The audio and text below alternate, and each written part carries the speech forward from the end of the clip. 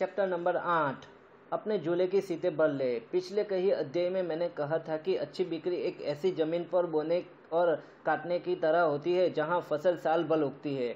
बोना और काटना, पूरे साल। इसके बारे में सोचने का एक और तरीका है फेरिस झूला। अगर आपने कभी फेरिस झूला देखा है तो आप जानते हैं कि यह कैसे काम करता है। उसे चलाने वाला आदमी एक बार में एक एक करके सीटों को मारता है। लोग उतरते रहते हैं। और वह उनकी सीटों को भरता है। झूले को थोड़ा घुमाता है, अगली सीटों को भरता है और ऐसा तब तक करता रहता है जब तक कि सीटें पर बैठे सभी पुराने लोग उतर ना जाए और नए लोग बैठ ना जाए। फिर फिर उस झूले का कुछ समय तक घुमाता है, उसके बाद वह उसे रोक देता है और एक बार फिर खाली करने, करके, करने तथा भरने की प्रक्रिया दोहराता है। अच्छी बिक्री भी इसी तरह होती है। फ़र्क इतना होता है कि झूला हमेशा थोड़ा घूमता रहता है।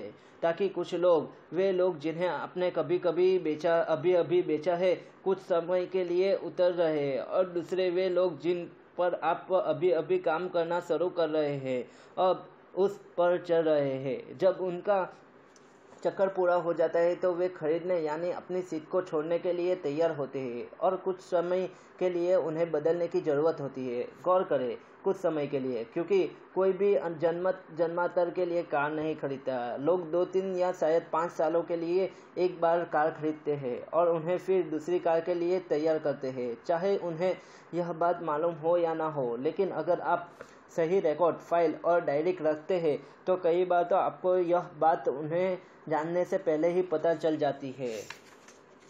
पिछले अध्याय में मैंने एक उदाहरण दिया था जिसमें मैंने स्टीव कॉलेज की के फेरिस जूले की एक सीट पर बैठ, बैठा दिया था। मैं जानता हूँ कि वह कौन सी कार चलाता है इसलिए मैं जानता हूँ कि वह शायद अदला बदली करना चाहता है। मैं यह भी जानता हूँ कि उसकी कार कितनी पुरानी है इसलिए कमोवेश मुझे पता होगा कि कोई नई कार खरीदने के लिए उसे कितने पैसे या कर्ज की ज़रूरत होगी।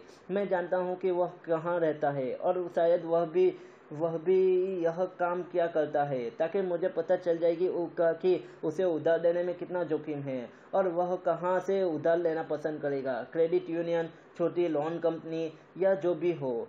और मैं यह बात भी जानता हूँ कि कब तक वो किस, कोई नई कार की तलाश शुरू करेगा। इसलिए मैं उसके देखने का शुरू करने के कुछ सप्ताह पहले ही उसे दोबारा फ़ोन करूँगा। नतीजा यह होगा कि मैं शायद उससे मिलने वाले दूसरे सेल्समैनों से आगे रहूँगा। वास्तव में अगर मैं इस काम को सही तरीके से करूँ तो हो सकता है कि मैं ही इकलौता सेल्समैन रहूँ, जिससे वह बात करेगा। वह मेरे झूले पर बैठा हुआ है और मैं सटीकता से जानता हूँ कि कहाँ। आइए, सच्चाई का सामना करें। बहुत बार ऐसा नहीं होता है। कई बार कई कोई आदमी आपको इतना ज़्यादा नहीं बताएगा, या शायद आपको यह भी नहीं पता होगा कि आपके झूले पर कौन कौन बैठा हुआ है, क्योंकि आपने किसी को डाक भी भेजी थी और उसने यह अलग रखी दी। लेकिन आपको इसका पता नहीं चला। इससे दरअसल कोई फ़र्क नहीं पड़ता मेरा मतलब है कि कुछ फ़ोन कॉल करके स्टीव कॉलेस्की को पाना बेहतरीन है, जो कि एक अच्छा संभावित ग्राहक है। या शायद पहले ही योग्य ग्राहक है, लेकिन स्पेगेटी, एक खास सामग्री का फेंका जाना न भूले। आप इसे उछलते रहे। इसका कुछ न, कुछ हिस्सा तो चिपक ही जाएगा। हो सकता है कि जब मैं कॉलेज की को दोबारा फ़ोन करूँ, तब तक वह उसकी लॉटरी लग चुकी हो और उससे पहले ही वो रॉल्स रॉय कार खरीद चुका हो। लेकिन उससे क्या? मैं उनसे पूछूँगा कि क्या वह दूसरे किसी को जानता है जो कार खरीदने वाला है? कोई रिश्तेदार जो डिनर पर आया था, उसकी दुकान का कोई कर्मचारी, शायद कोई पड़ोसी जिनका कार कार कल तबाह हो गई थी। या शायद मैं उसे बधाई देकर उससे पूछूँगा, लूँगा कि उसने वह लॉटरी, लॉट, वह लॉटरी की टिकट कहाँ से खरीदा था? फिर मैं सुझाव दे दूँगा कि अगर वह उसमें से कुछ पैसे अपनी पत्नी या स्थानकों के स्थानक को हो चुकी बेटी के लिए कार खरीदने लगाए तो कितना अच्छा रहेगा। या शायद मैं उसे सुखद छुटपुट बातचीत कर सकता हूँ। नतीजा यह होगा कि जब वह मेरे सारे पैसे उड़ा देगा और उसे दोबारा किसी सस्ती कार की उसके पैसे नतीजा यह होगा कि जब वह अपने सारे पैसे उड़ा देगा और और उसे दोबारा किसी सस्ती कार की ज़रूरत होगी तो मुझे याद रखेगा। स्टीव कॉलेज की कहाँ बैठा है? यह बात मुझे पता चल हो या ना हो, लेकिन मैं उसका नाम जानता हूँ और वह यह भी कि उससे कब, कहाँ, कैसे संपर्क करना है। और यह एक महत्वपूर्ण चीज़ है। यह एक ऐसी जानकारी है जिसके लिए आपको उसी तरह खुदाई करनी चाहिए, जिस तरह आप सोने की करते हैं। यह इस लायक है कि आप उसे दोबारा फ़ोन करें, शायद एक से ज़्यादा बार करें। यह इस लायक भी है कि आप उसे मेरिंग लिस्ट पे रखें और दोबारा संपर्क करें। जब मैं उस आदमी की बात करता हूँ तो मुझे यकीन है कि आप समझ गए होंगे कि मैं दरअसल बहुत से लोगों का ज़िक्र कर रहा हूँ, जिनके अधिक अधिक हो, उतना ही बेहतर है। मैं जब वाहन व्यवसाय में आया, तब से बारह बारह हज़ार कारें और ट्रक बेच चुका हूँ। चूँकि मेरे पुराने ग्राहक को बेचने की संख्या लगातार बढ़ती रही है, इसलिए यह कहना मुश्किल है कि उन बारह हज़ार से अधिक बिक्रियों में से कितनी रिपीट सेल हुई है। यह सब मेरी ब्लोरो में दर्ज है। ब्यूरो में दर्ज है। मेरे पास यह मेरे पास हर खरीदार का एक कार्ड है। अगर मैं किसी व्यक्ति को एक बार से अधिक बार बेची कार कार बेची हो तो कार्ड बता देता हूँ कि कब और कहाँ और काफ़ी बा, बाकी सारी बातें। तो आइए मान लेते हैं कि मेरी फ़ाइल में नौ हज़ार ग्राहक के नाम हैं जिन्हें मैं कार बेच चुका हूँ। आप सोचेंगे कि नौ हज़ार लोग को डाक भेजना भी एक महँगा सौदा है। आप ये सही सोचा। अगर मैं उन सभी को उच्च स्तरीय डाक भेजता हूँ, इसलिए उन दिनों के डाक खर्च में बहुत सारा पैसा लग जाता है। लेकिन मेरी मेलिंग लिस्ट में उससे भी ज़्यादा बड़ी होती थी, क्योंकि उनमें उस लोगों के नाम भी शामिल होते हैं जिन्हें मैंने अभी तक कुछ नहीं बेचा है। इसलिए इन ब्यूरो को रखने और ब्यूरो को रखने और डाक बेचने की अच्छी खासी रकम लग जाती थी। डीलर खर्च का एक अच्छा हिस्सा चुकाता था, इसलिए मैं काफ़ी चुकाता हूँ। सूची बनाना और उसे अध्ययन करना तथा डाक भेजना एक काम है, जो जो करने ही चाहिए। अगर आपके पास इन जैसी सूची कभी रही हो तो आप उसका मिलियो समझ लेते हो। ठोस प्रोस्पेक्ट के इतने सारे नाम की सूची किसी सेल्समैन के सामने मूल्यवान संपत्ति हो सकती है। शायद आपके पास इतने ज़्यादा नाम नहीं होंगे। इससे कोई फ़र्क नहीं पड़ता, क्योंकि चाहे आपके प्रॉस्पेक्ट के लिए जितनी भी बड़ी हो, यह उन लोगों की सूची है जो पहले ही खरीद चुके हैं और दोबारा खरीद सकते हैं। पूरे देश में करोड़ों प्रॉस्पेक्ट है और किसी बड़े महान नगर पालिका में कुछ लाख होते हैं लेकिन अस, असल लोगों को विशेष वितरण प्राप्त करना नाम पता बाकी कोई चीज़ बेहद मूल्यवान है।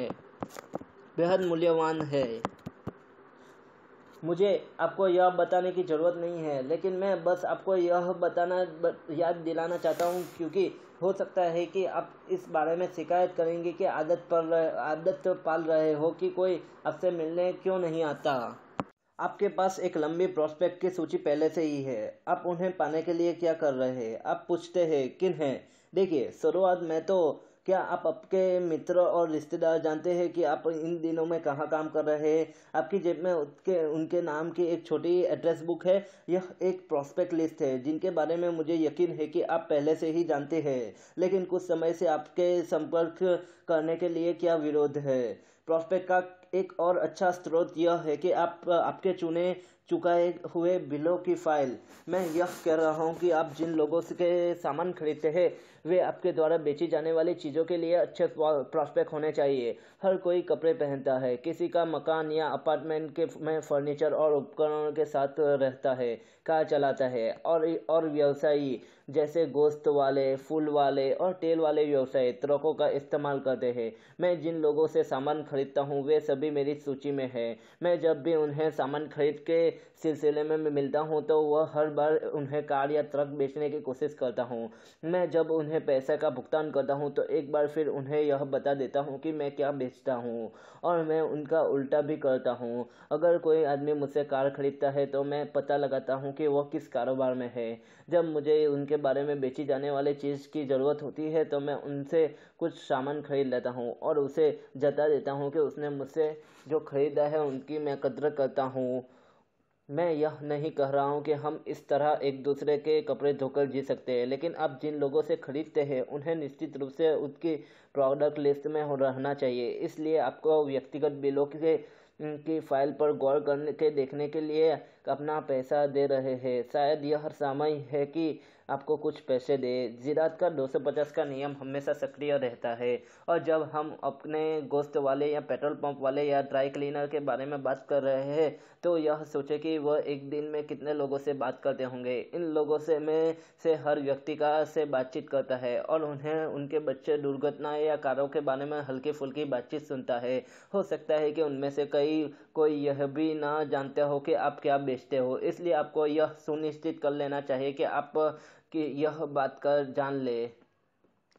यह सुनिश्चित करें कि हर कोई जानता है कि आप क्या बेचते हैं। यह काफ़ी प्रारंभिक सलाह लगती है और शायद आप इसे पहले भी बहुत बार सुन चुके हैं, होंगे। लेकिन मैं बहुत से सेल्समैनों को से टकराया हूँ, जो कभी कभी लोगों को करीबी मित्रों और रिश्तेदारों को छोड़कर नहीं बताते कि वे क्या बेचते हैं। वे कहते हैं कि सेल्स पर्सन खास तौर पर कार सेल्समैन की छवि खराब होती है। देखिए, मैं आपको बता देता हूँ कि जीविका के लिए जो काम करता हूँ, उसे मुझ पर गर्व है।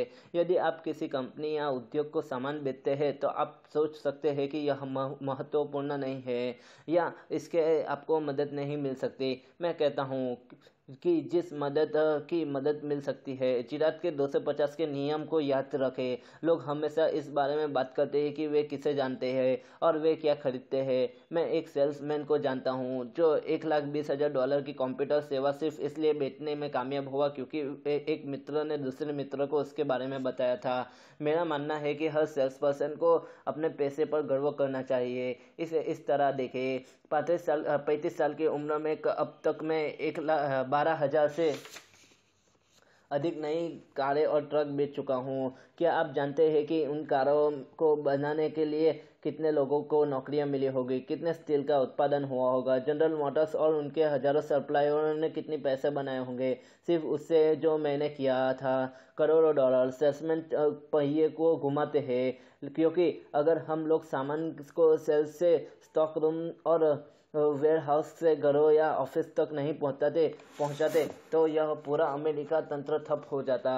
तो हर किसी को बताए कि आप एक सेल्समैन हैं और यह भी आप बताने बताइए कि आप क्या बेचते हैं। और जब आप उनसे कुछ खरीदे तो उनको अपने साथ किसी तरह की अदला बदली किसी तरह का आपसी सौदा करने की ज़रूरत नहीं है। लेकिन बस कभी कभार उन्हें बता दे कि आपके पास उनके लिए कोई चीज़ है, जिसे वे ज़रूरत पड़ने पर किसी भी समय खरीद सकते हैं। और आप जिन्हें से बिक्री नहीं, बल्कि जानकारी चाहते हैं। यदि आप आभूषण बेचते हो तो आप जब आप सुनते हो कि किसी की पढ़ाई पूरी होने वाली है तो आप जान जाते हैं कि उससे एक घड़ी और कॉकटेल रिंग की बिक्री की संभावना बन जाती है। अगर आप कार बेच रहे हो तो अब जब आप सुनते हो कि किसी आदमी की कार तबाह हो गई है तो आप अफसोस जता सकते हैं। लेकिन यह भी दिमाग में रखें कि इस आदमी को दूसरी कार की ज़रूरत पड़ने वाली है, और उसे शायद उसके भुगतान के लिए किसी बीमा कंपनी से मोटा चेक भी मिल सकने वाला है। इसलिए गोश्त वाले और किराने वाले को ना भूले। वे फेरिस जूले की उन सीटों को भरने में आपकी मदद कर सकते हैं। वे उन बीजों को उपजाऊ मिट्टी में बोने में आपकी मदद कर सकते हैं। आप चाहे इसे किसी भी तरह से देखें। इसे ही बेच, इसे ही मैं बेचने के, मैं पेशेवर मानता, पद्धति मानता हूँ। अब उन सीटों को भरना, भरने, बीजों को बोने या स्पगेट को दीवार पर चिपकाने के लिए मेरे कुछ दूसरे तरीकों के बारे में विस्तार में जान ले। आप उनकी और चाहे जैसे भी देखें, ये ऐसे तरीके हैं जो आपकी जेब में पैसे लाए, लाएँगे। आप जिस भी व्यक्ति के बारे में सोच सके, उसे अपने ऑफ़िस उसे अपने फेसिल, फेरिस चूल्हे पर बिठा ले। अध्याय आठ समाप्त हुआ। Please like and subscribe.